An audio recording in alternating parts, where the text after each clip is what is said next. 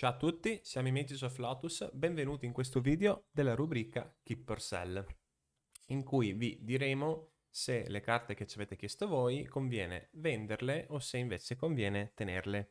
Prima di cominciare vi invito a lasciare un like, attivare la campanella e ovviamente se volete darci un supporto maggiore ad abbonarvi qui o su Twitch. Scusate. Allora, passiamo alle carte. Allora, la prima ce la chiede Alberto, che appunto è un abbonato, e ringraziamo tantissimo, ed è Frutteto Proibito nella versione Zendikar Expeditions. Allora, intanto partiamo un attimo dal lato gameplay. Allora, questa carta fondamentalmente si gioca in Commander e in Vintage, in un deck in cui ha una sinergia pazzesca con una carta, con questa carta qua, che si chiama Oath of Druids, in sostanza mm, questo incantesimo ci consente di eh, giocare una carta, mettere in gioco una carta dal nostro grimorio nel nostro mantenimento se un avversario ha più creature di noi. Noi metteremo Atraxa perché grazie appunto al fruttetto proibito noi eh, diciamo regaliamo questi 1-1 spiriti all'avversario, quindi avrà più creature di noi e facciamo una Traxa. Diciamo che è una strategia abbastanza forte. Allora, questo frutteto e in questa versione però ovviamente è più diciamo una, una cosa legata al collezionismo. Allora possiamo vedere come le copie disponibili siano poche, 105, e tra l'altro le, pro- le probabilità di trovare una Zendikar Expeditions nei, nei box che appunto che furono è veramente bassa. E quindi sì, ci sono veramente poche, poche copie in giro di queste carte, ma come potete vedere dal grafico in realtà la carta sta un pochino scendendo perché allora, mi sono fatto due idee. La prima idea è che sia legato alle carte serializzate, cioè adesso tutto ciò che non è serializzato, ovviamente salvo le, le carte in reserved list, comunque tutto ciò che non è serializzato piace un po' di meno, interessa un po' di meno e magari c'è paura che scenda di valore.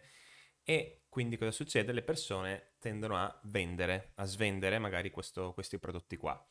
La seconda ipotesi è legata alle ristampe che vedremo dopo, box toppers, cioè cosa vuol dire? Ci sono carte, vabbè, vi spoilerò già un, un keeper cell che, che, ci sarà successivamente, comunque ci sono ristampe come questa, per esempio questa è Minas Morgul, quindi la carta del Signore degli Anelli, ma in realtà è Cabal Coffers. Secondo me c'è la percezione che ehm, prima o poi tutte queste carte, come dire, abbastanza forti, vengono ristampate in queste versioni qua e quindi ciò contribuisce a quella voglia di vendere.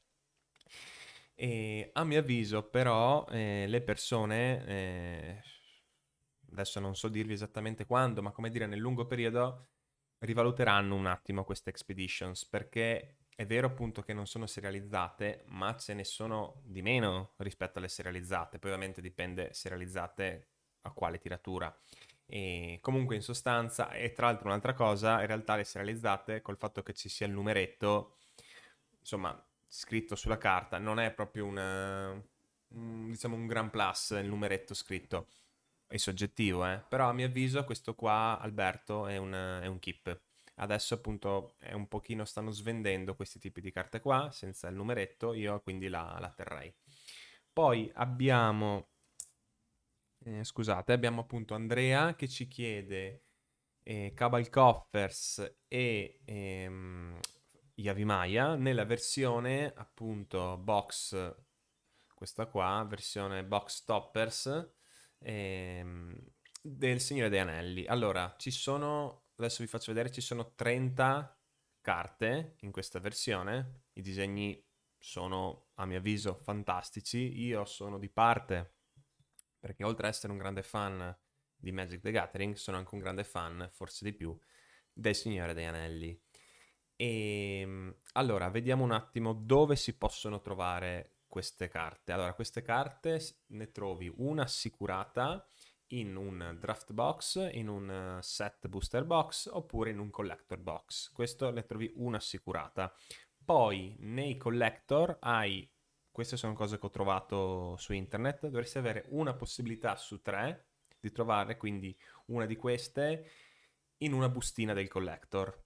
E una possibilità su 100 di trovare la sua versione eh, foil, ovvero questa qua, la versione Surge Foil, quindi una su 100 è veramente insomma una probabilità ardua. E tra l'altro i collector non è che costino poco, quindi sì, ce ne sono veramente poche di, di Foil.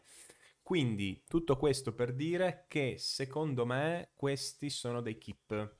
Allora, non sono dei keep tutte le ristampe dei box topper, cioè non sono dei keep, scusate, tutte queste ristampe qua, cioè con nomi diversi, ma se parliamo del Signore degli Anelli, io credo che queste carte qua avranno sempre un interesse nel corso del tempo, anzi aumenteranno spropositamente nel corso degli anni. Quindi a mio avviso sia Minas Morgul che Yavimaya sono dei keep. Tra l'altro ehm, Cabal Coffers adesso si gioca anche in, in, un deck modern che è abbastanza forte, che è questo qua, e c'è una sinergia incredibile con Urborg. Tra l'altro mi sono accorto adesso che Cabal Coffers non è neanche leggendaria, quindi veramente con Urborg riusciamo a fare tanto di quel mana che... e poi con Karn facciamo quello che vogliamo. Mentre Yavimaya si gioca soprattutto in Legacy, in questi due deck qua, quindi Naya Depths e in Lens. E quindi un po' meno giocata. Infatti ha un, ha un prezzo anche un po' più basso. Ovviamente il... come dire mm, qui siamo più nel collezionismo piuttosto che nel gameplay, però chiaramente se una carta si gioca anche è un valore aggiunto e contribuirà a, diciamo, aumentare un po' il prezzo. Quindi anche questo è un keep e andiamo all'ultima richiesta che è di eh, Riccardo che ci chiede Solitude nella versione foil in inglese, mi sembra.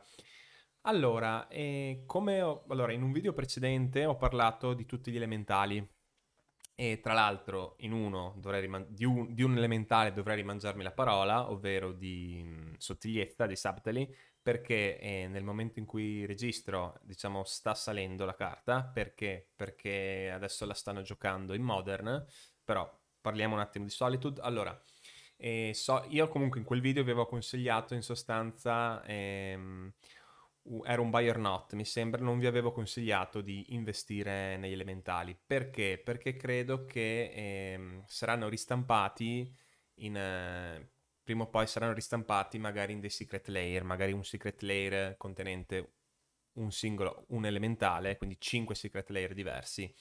E in sostanza quindi vi ho consigliato il sell, però, scusate, il, di non investirci, però ehm, quella domanda lì era relativa alle versioni non foil. Io sinceramente Solitude foil lo terrei perché allora la carta sappiamo tutti, lo sapete meglio di me, si gioca in tutti i formati e, e si gioca in più coppie e in più deck. Quindi veramente c'è una richiesta incredibile e le copie foil mh, mm, non saranno mai così tante. Quindi anche se dovessero ristamparle in una versione Secret Layer, comunque secondo me la foil tiene il prezzo. Quindi io questa versione qua la kipperei. E niente. Quindi bene ragazzi, vi... questi sono i deck appunto in cui si gioca Solitude e vi invito a farci sapere cosa ne pensate di, di, ciò che, di ciò che ho detto, di ciò che diciamo in generale e a presto. Ciao!